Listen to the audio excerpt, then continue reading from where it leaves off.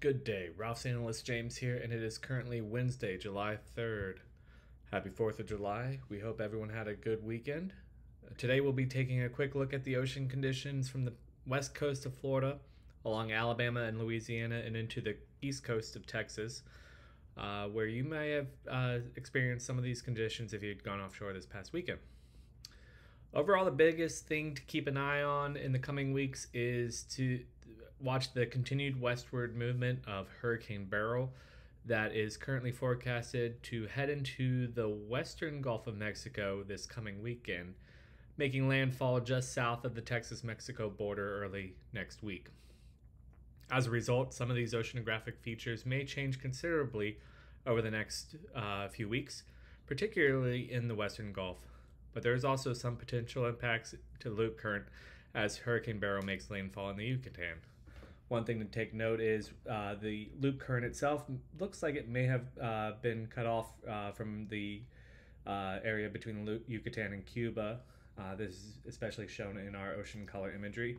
You can see currents moving northwest from Cuba uh, and heading off from the Yucatan here. Staying in the Western Gulf, we continue to observe uh, quite a bit of warmer, greener water moving offshore uh, to the southeast of Aransas as filaments of this warmer, greener water continue moving northeast from about the Texas Canyon area near the Mexico Texas border. Uh, as you can see here, this eddy is moving to the north, or filaments moving to the northeast. Occasionally, some of these smaller little eddy formations uh, as they strengthen, they bring some of the cooler, bluer water uh, northwest, uh, helping the uh, fishing in that area. Uh, as these eddies strengthen, they bring a little bit of clean, uh, cooler, bluer water along the north northwestern edges, helping improve billfish and mahi fishing uh, towards the 38 special to Los Cuantos Basin and La Palma Dome area, depending on how far off these eddy formations are moving. Additionally, you can see another one of these eddies forming up uh, just off of Mexico, and several smaller ones further south moving to the north northeast. Uh, additionally, you can see a larger counterclockwise rotating eddy formation in this ocean color imagery shown here. This larger counterclockwise rotation uh, is bringing some of this bluer and cooler water back northwest off of the Flower Gardens area uh, between the Texas to Louisiana area offshore.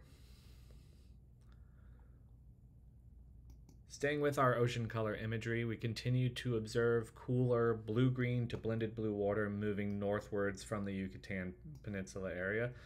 Uh, this uh, mixed blue green blended blue water continues to mark the uh, outer boundary of the loop current as it moves in a clockwise rotating direction outside with the warmer bluer loop current water rotating on the inside. And several of these counterclockwise rotating eddy formations continue to mark this offshore boundary or outer boundary of the loop current. However, one larger clockwise rotating eddy formation continues to rotate just offshore of the ledge uh, out of Mobile Bay, uh, just to the southwest of the DeSoto Canyon. This is pulling some of the bluer water uh, into the area off the DeSoto Canyon uh, and south of Mobile before heading offshore from the Pensacola area.